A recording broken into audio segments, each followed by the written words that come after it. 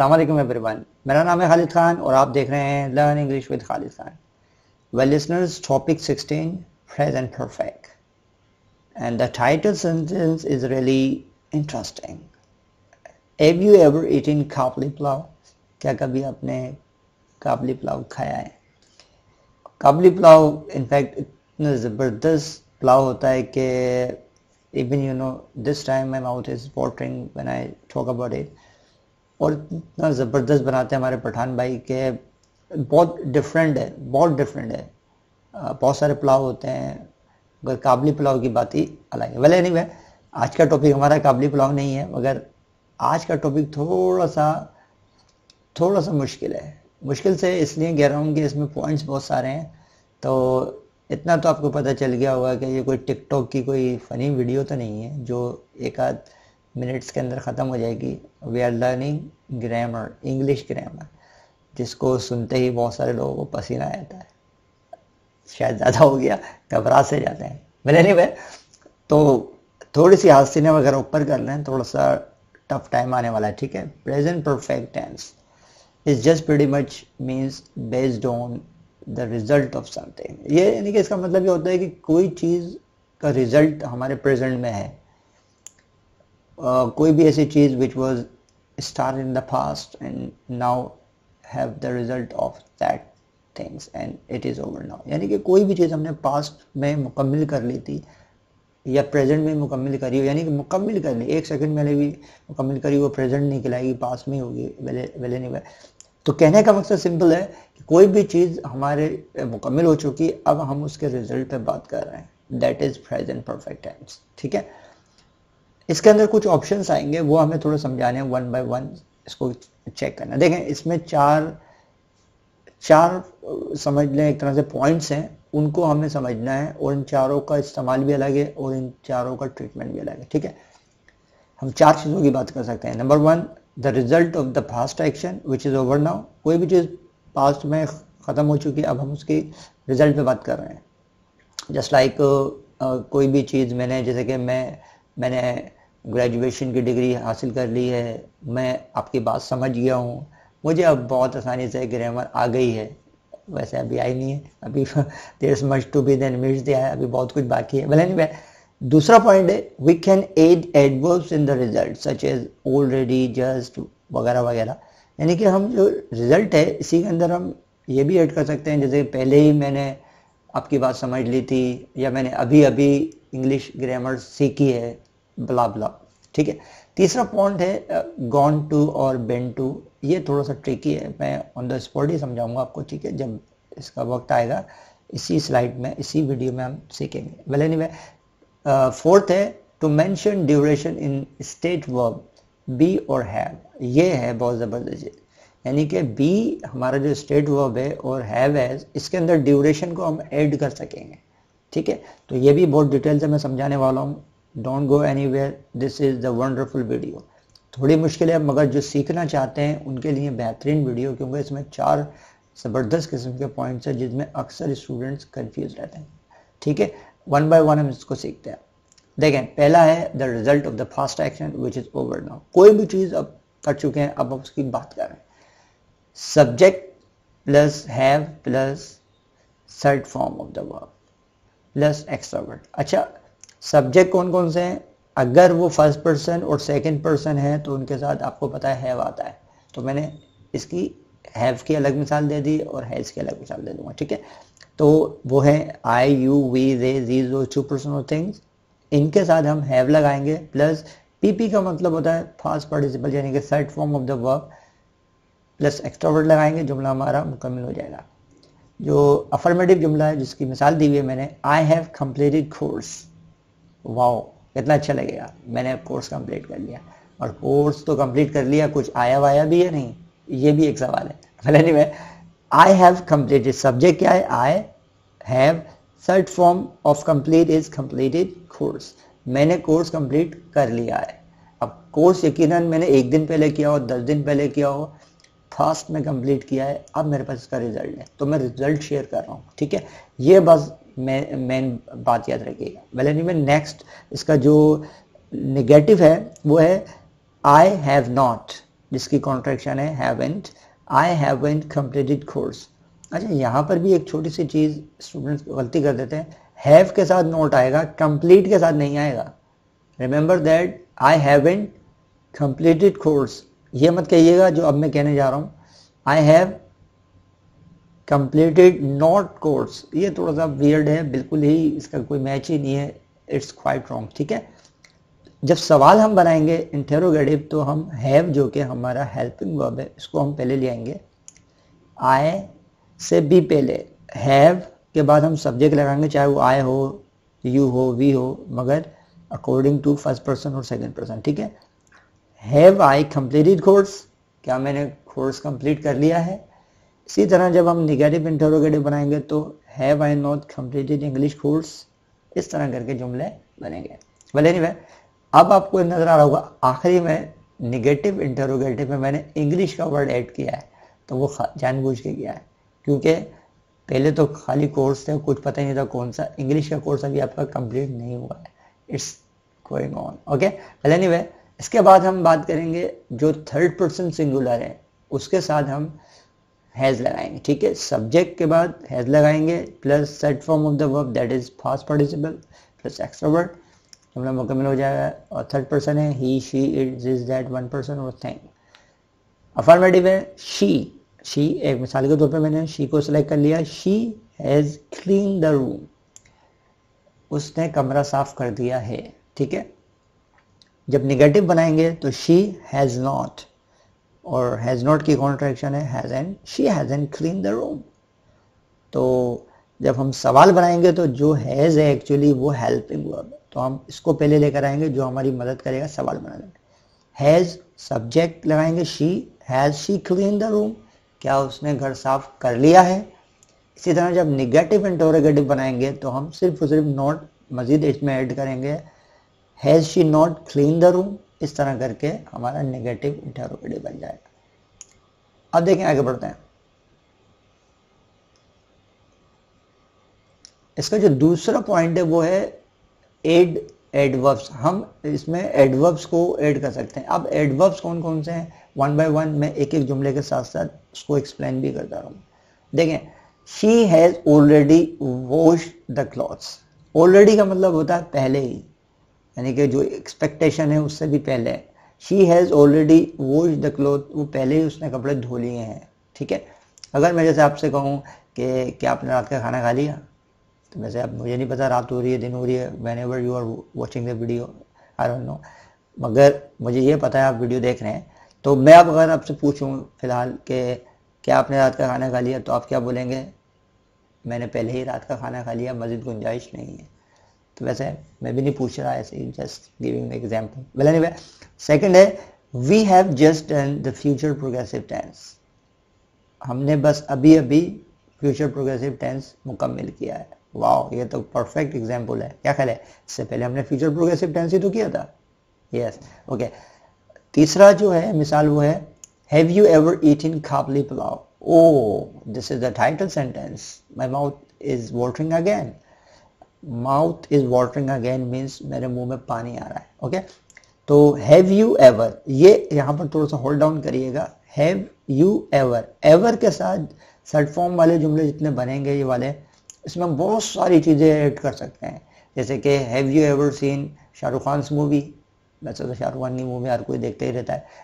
कोई दूसरी मिसाल देता हूँ। Have you ever had an accident क्या कभी आपका एक्सीडेंट हुआ है? ठीक है? और have you ever been to Dubai क्या कभी आप दुबई गए? इसी तरह के जुमले, ठीक है? तो बहुत होते हैं इस तरह के जुमले तो हम बना सकते हैं।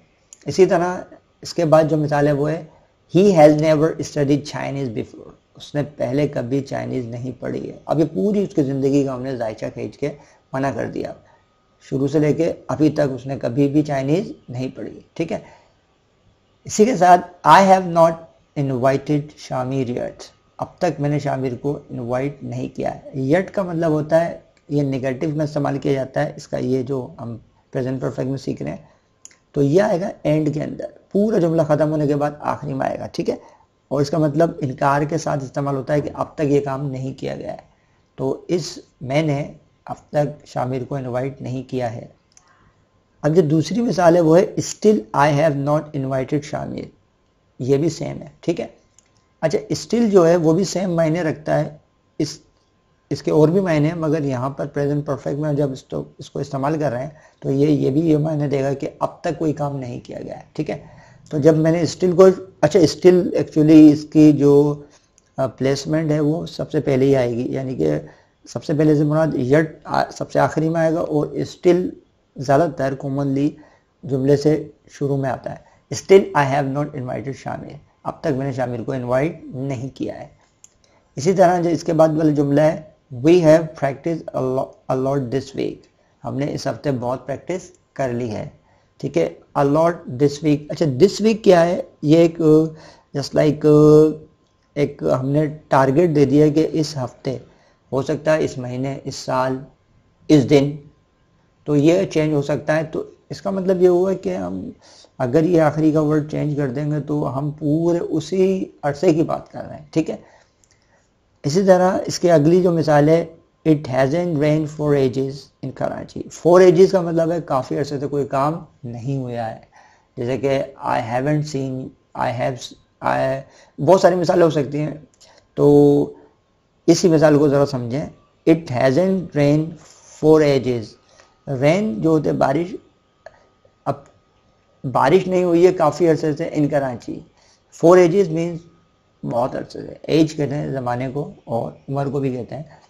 He has lived in Islamabad for ten years वो इस्लामाबाद में रह चुका है दस साल। ठीक है? तो ये भी बहुत आसान सा है और बाखूबी आप समझ सकते हैं। इसके बाद वाला जो पॉइंट है, उसको देखते हैं हम।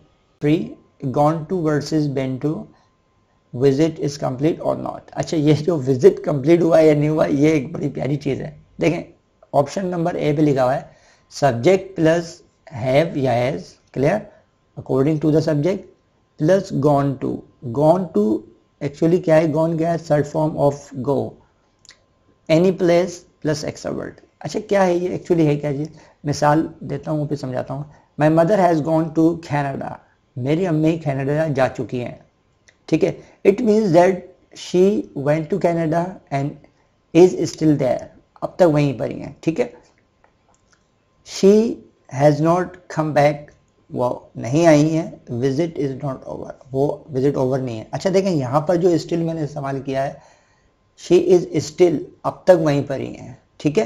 तो ये स्टिल जो वर्ड है, वो मल्टीपल मीनिंग में इस्तेमाल होता है और इतफाक से इस मिसाल में भी आ गया। तो प्रेजेंट परफेक्ट में जब हम इस्तेमाल करेंगे तो वो मायने कुछ और दे रहा हुआ यानी कि अब तक काम नहीं किया गया, ठीक है? तो ये कंफ्यूज होने वाली चीज़ नहीं है, एक वर्ड के कई मायने होते हैं। अच्छा हम इस पॉइंट की तरफ़ आते हैं दोबारा कि पॉइंट क्या है कि मेरी वालदा कनाडा जा चुकी हैं। अगर मिसाल के तौर पे कोई मोहल्ले से आता है हमारे घर पे, अम्मी कहाँ है आपकी? हम कहते हैं, अम्मी बाज़ार चली गई हैं, अम्मी बाज़ार गई हैं, ठीक है? गई हैं, मीन्स जा चुकी हैं। सेम जो बी ऑप्शन है, उसमें देखें उसका ट्रीटमेंट है सब्जेक्ट प्लस हैव या has according to the subject been to any place plus extra word यानी कि अब जो मसला है वो ये है कि my father has been to Canada मेरे वालिद कैनेडा गए और वापसी आ गए। यानी कि विज़िट ओवर हो गया कंप्लीट हो गया। इस तरह के जुमलों में हम अक्सर कहते हैं, जाके कहीं गए और वापसी आ गए, जैसे कि वालदा गई और वापसी आ गई हमारी बाज़ार से तो हमारा जो वो एक एक जस्ट लाइक ट्रिप है, वो जो जाकर विज़िट कंप्लीट कर लेना। अक्सर हम ऑफ़िस जाते हैं और वापसी आ जाते हैं तो अक्सर हम किसी अपने दोस्त यार से पूछते हैं, यार, क्या जो ऑफ़िस गए थे?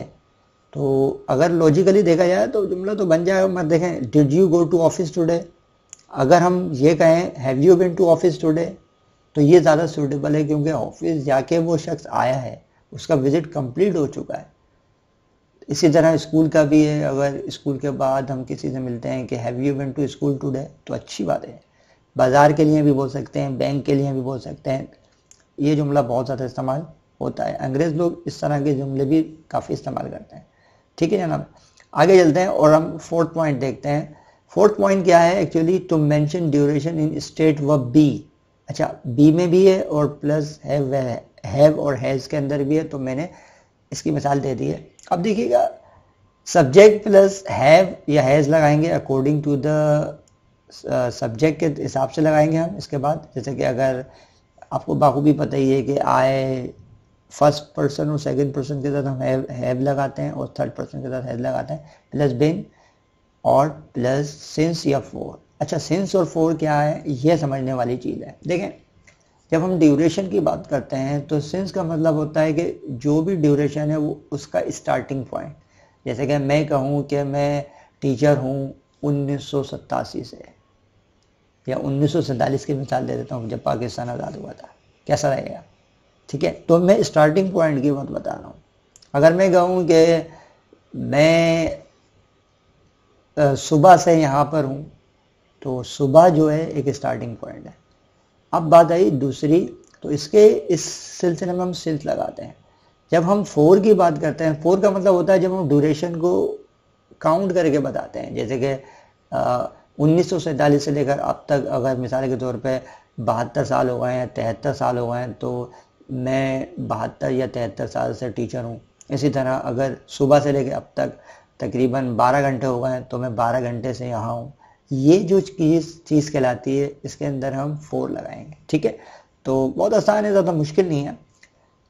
अफर्मेटिव है आए सब्जेक्ट मैंने सेलेक्ट किया।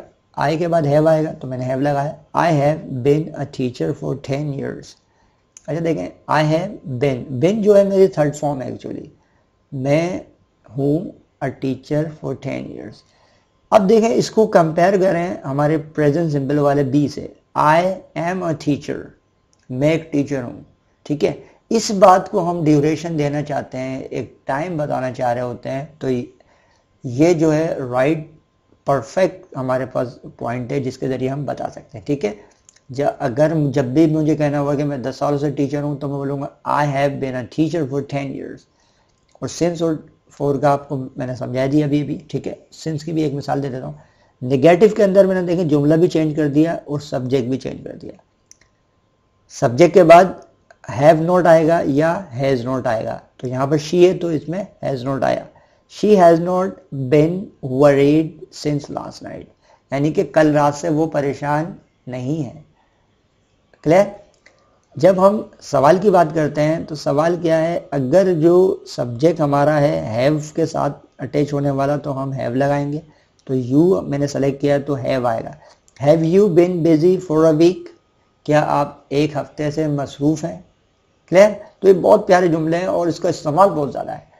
निगेटिव इंटरोगेटिव बनाएँगे तो हम क्या बोलेंगे? सब्जेक्ट के मुताबिक हम हैव और हैज़ का सिलेक्शन करेंगे सबसे पहले, फिर हम सब्जेक्ट रखेंगे. यहाँ पर है ही तो हैज़ आया. Has he not been in jail for a long क्या वो बहुत अरसे से जेल में नहीं है? ठीक है?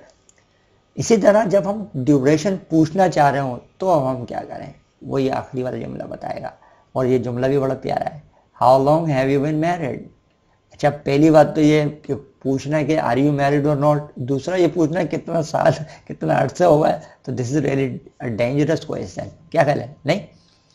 चले, आगे बढ़ते हैं।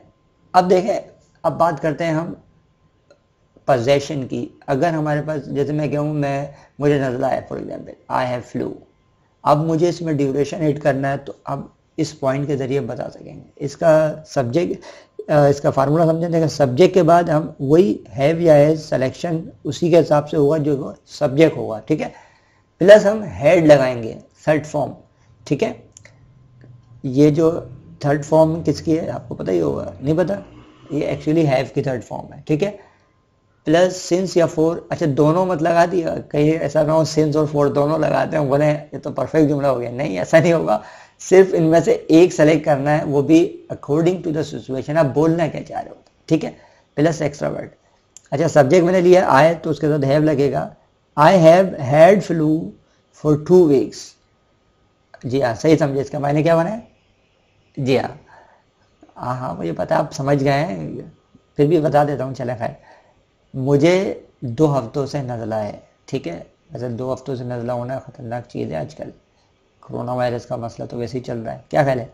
भले नहीं अब अब गौर करें इस जुमले को। अगर मैं कहूँ आई हैव फ्लू तो इसका मतलब सिंपली है मुझे नज़ला है। मगर जब मुझे कहना है कि मुझे दो हफ्तों से नज़ला है या दो दिन से है तो हम इस टॉपिक से कह सकते हैं, इस पॉइंट के ज़रिए कह सकते हैं, ठीक है? वेल एनी वे नेगेटिव है ही हैज़ नॉट अब देखें ही के साथ हैज़ आता है तो हमने इसको हैज़ लगाया। अगर इसकी जगह कोई सब्जेक्ट दे होगा या वी होगा तो हम हैव नॉट लगाएँगे, ठीक है? He has not had job since December 2013 उसके पास दिसंबर 2013 से जॉब नहीं है, ठीक है? अब देखें, ये स्टार्टिंग पॉइंट बताया गया है। वो भी है दिसंबर अच्छा ये जो दिसंबर है डी साउंड है इसमें। हमेशा याद रखिएगा कि very large number of the student they pronounce it December दाल वाला दाल साउंड इंग्लिश में नहीं है. डी साउंड है दिसंबर ठीक है? तो सब सेंटेंस भी समझ में आ गया है. अब हम चलते हैं इंटेरोगेटिव की तरह. देखें इंटेरोगेटिव में हम हैव या हैज़ वही सेलेक्ट करेंगे जो कि हमारा सब्जेक्ट के मुताबिक होगा. सब्जेक्ट हमारा शी तो हमने हैज़ लगा, हैज़ शी हैड हैर एक फॉर टू आवर्स क्या उसको दो घंटों से सर में दर्द है? ठीक है? इसी तरह जब हम निगेटिव इंटरोगेटिव बनाएँगे तो हम वो भी यही करेंगे कि हैव या हैज़ लगाएँगे according to the subject have you not had time since morning क्या आपके पास सुबह से टाइम नहीं है? तो मॉर्निंग क्या है? स्टार्टिंग पॉइंट तो हमने सिंस लगाया इसमें. क्लियर जब हम किसी से पूछेंगे कि कौन सी चीज़ आपके पास कब से है तो हम लगाएँगे how long how long have you had this mobile ये मोबाइल आपके पास कब से है? ठीक है? तो इस तरह करके जुमले बनेंगे और बहुत आसान है, मेरी नज़र में कोई टेंशन नहीं है, बहुत आसान है। चारों पॉइंट वन बाय वन पे प्रैक्टिस करेंगे और ये क्लियर हो जाएँगे, ठीक है? वेल एनी वे वार्निंग थोड़ी सी समझ लें। वार्निंग क्या है? We can't use past time words in the present tense like yesterday, last night, one hour ago, two days ago, the other day, three weeks ago, five years ago, वगैरह वगैरह। अच्छा ये fast time word क्या है और क्यों ना इस्तेमाल करें इनको? देखें एक्चुअली मिसाल भी देता हूँ और उसके साथ समझते हैं हम। देखें, मिसाल है I have met Kashif yesterday अब ये लिखा हुआ आगे रॉन्ग रॉन्ग क्यों है? हमारी उर्दू के लिहाज से तो सही है ये कि मैं काशिफ से कल मिल चुका हूँ। गुजरिश, गुजशत कल। मगर अंग्रेज़ी ये कहती है कि आपकी जो मुलाकात थी वो कल थी। ये कोई प्रेजेंट रिज़ल्ट थोड़ी है। हाँ अगर आप ये बोलें कि मैं काशिफ से मिल चुका हूँ तो बात सही है, मगर पास टाइम वर्ड तो ऐड ना करें इसमें। कैसा? यस्टरडे बोलना है तो आप इसको सही करेंगे और पास इंफॉर्मेशन देंगे, क्योंकि है आई मेड काशिफ यस्टरडे अब ये राइट है, ठीक है? तो एक्चुअली ये पास्ट इंफॉर्मेशन है कि मैं कल काशिफ से मिला था। ये प्रेजेंट परफेक्ट नहीं है, ये प्रेजेंट रिज़ल्ट नहीं है। प्रेजेंट रिज़ल्ट होगा तो वो बनेगा I have made Kashif yesterday नहीं आएगा उसमें। रिमेंबर दैट ठीक है? दूसरी मिसाल एक और दे दी मैंने ताकि और मजीद अंडरस्टैंडिंग डेवलप हो। She has inform me two days ago अब देखें टू डेज़ आ गए। वही बात गलती फिर हो गई। क्लियर तो ये रॉन्ग है। सही क्या है? She inform me two days ago ये पास इंफॉर्मेशन है जनाब अली ओके तो उम्मीद है आपको ये पॉइंट समझ में आया और इसको याद रखिएगा, क्योंकि अक्सर लोग इसी में गलती करते हैं। चले जनाब, हमारा टॉपिक तो आज मुकम्मल हुआ और जैसे मैंने शुरू में ही बताया था ये टिकटॉक की कोई वीडियो तो नहीं है तो थोड़ा सा टॉपिक लेंदी हो गया, बड़ा हो गया तो डोंट वरी ठीक है? मगर याद करने के लिए, हमें सीखने के लिए थोड़ी छोटी छोटी कुर्बानियाँ देनी पड़ती है, ठीक है? वेल एनी वे बहुत सारा ख्याल रखिएगा, अगली वीडियो तक मिलते हैं, अगली वीडियो में, अल्लाह हाफिज़।